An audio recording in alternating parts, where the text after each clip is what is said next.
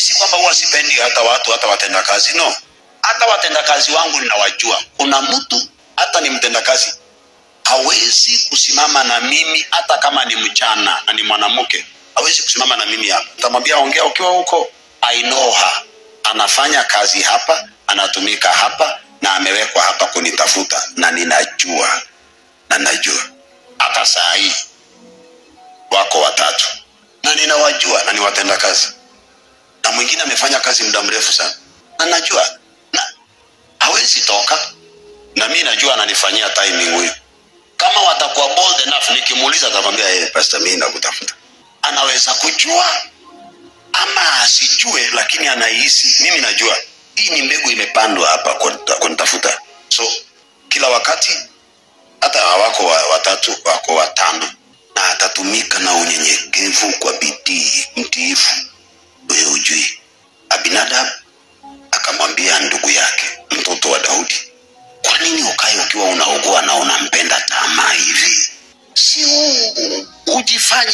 mgonjwa alafu aje akupikie chakula utamkamata utambaka tu. Rafiki alitumwa kama nyoka kudanganya mtoto wa daudi na akabaka dadake. Spirit who is this coming closer to you? Na binadamu, the bible says he was very crafty. So uko na mtu na ako very crafty na wewe ujui ako hapa. Anaweza kukaa hapo na wewe muda mrefu sana. Hata miaka kumi anakusubiri wewe. One day you will fall. Na akikuangusha amemaliza kazi yake. Yesu anasema kaeni macho kila saa. Vile mnavyoona maaskari hukaa macho wakifanya kazi. Nanyi muwe maaskari wa kiroho mukae macho.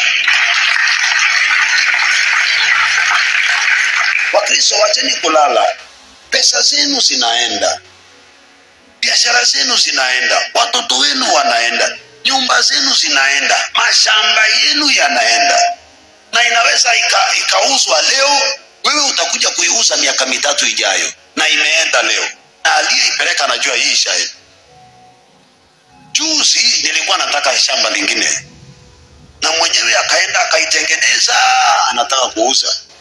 Nikamwambia mtu hii shamba iuzwi atauzaje nikaenda nikachukua living water nikasema mbili nikatupa hapo nikasema hii ni shamba yangu.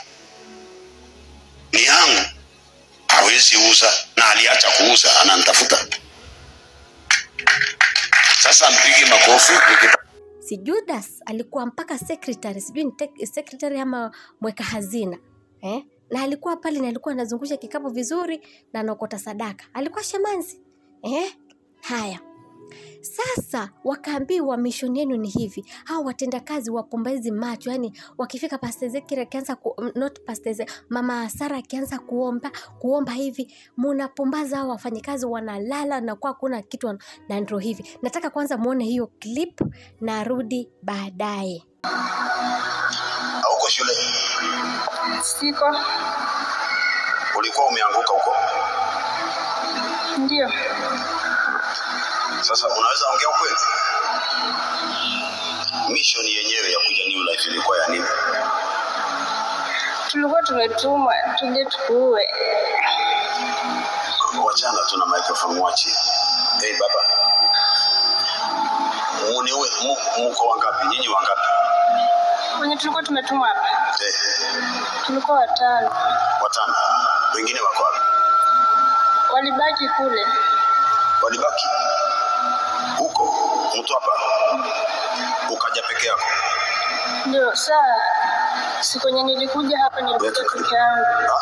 Siku yenye nilikuja hapa saa ile siku ndo nilikuja peke yangu.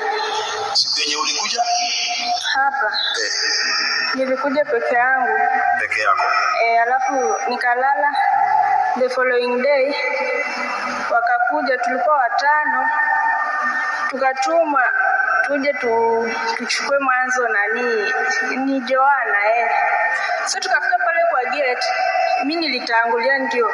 Tukifika kule kwa nyumba ukiano yani ukienda sasa unataka kumwinua yani waona moto.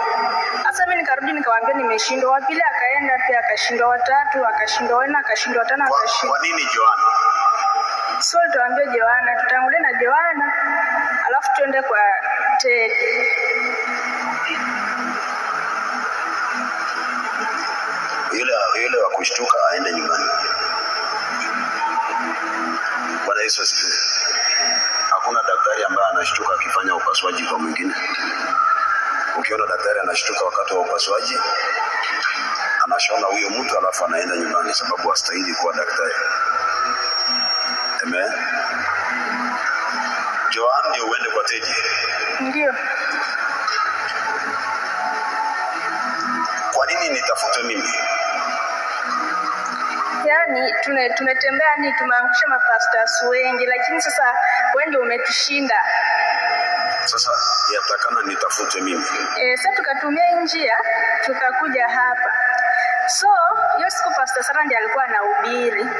Sasa wakatuambia tuje hapa au niseme Sema. hawa watendakazi wako saa zingine wao wanaomba, sio kiwaomba, unapita tu kwa mtu kilazima, hata maybe huwa umsalimii. Waki Wakiomba si unakuta wanalala. eh, hata jana usiku. Eh, ni sisi ndo tulikuwa tunawafanya wanalala. Alafu tena ile siku kwenye Pastor Sara yuko, yaani wanatoka toka nje. Nakumbuka siku Pastor Sara akasema, nyi kama pastor hapo mwaketi na kama pastor hayuko mnatoka, Mungu atawasaidia.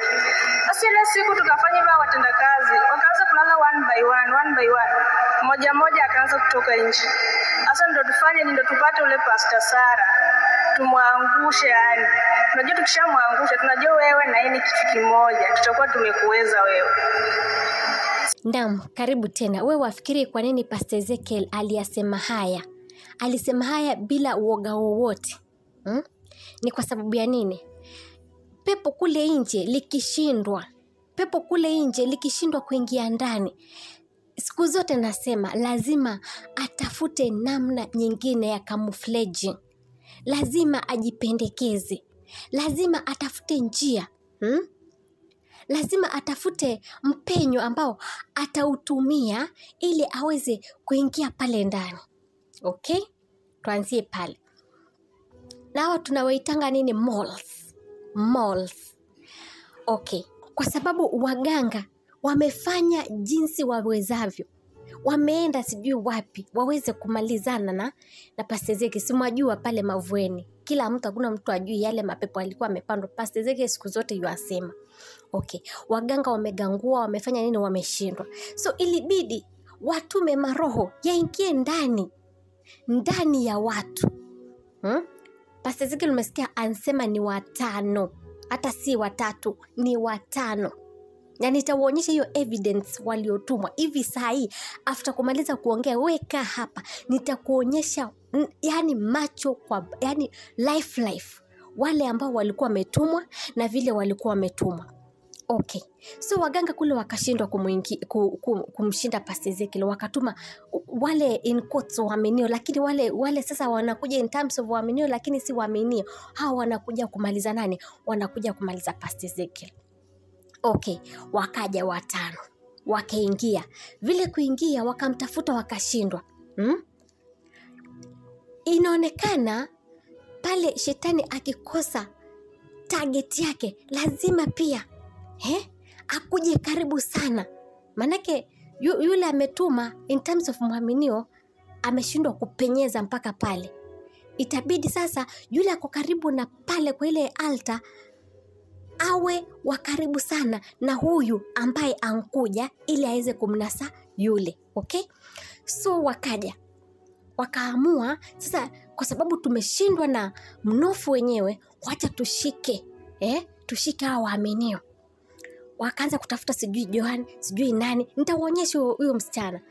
Akatafuta johan wakaenda pale akashindwa.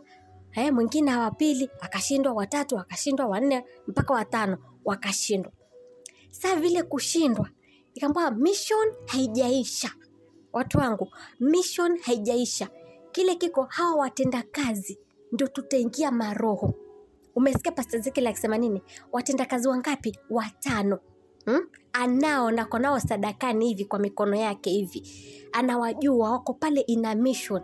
Kwa sababu si wale watinda kazi. Ni ile roho. Eh? ile roho ya kule nje iko ndani pale. Na watakuwa ni yani ni wananyenyekea wanafanya kazi vizuri lakini they know what it means.